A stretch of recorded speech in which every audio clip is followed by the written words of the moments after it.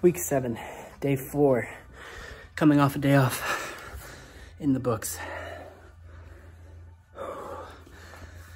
That was tough, very, very tough. Non-stop workout for 30 straight minutes, seeing how many rounds you can get through. Fortunately, didn't get to the eight again today. We got through seven rounds in 31 minutes and 44 seconds.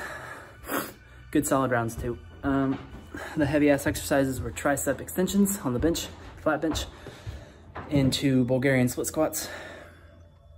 Uh, I think I went up five pounds on the tricep extensions today, and I believe I stayed with the same 50s for, um, or 50 pounds for the Bulgarian split squats.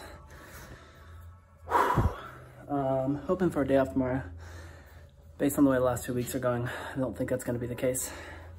But nonetheless, get some rest, stretch. Hope the allergy issues feel better and uh, get after it again tomorrow.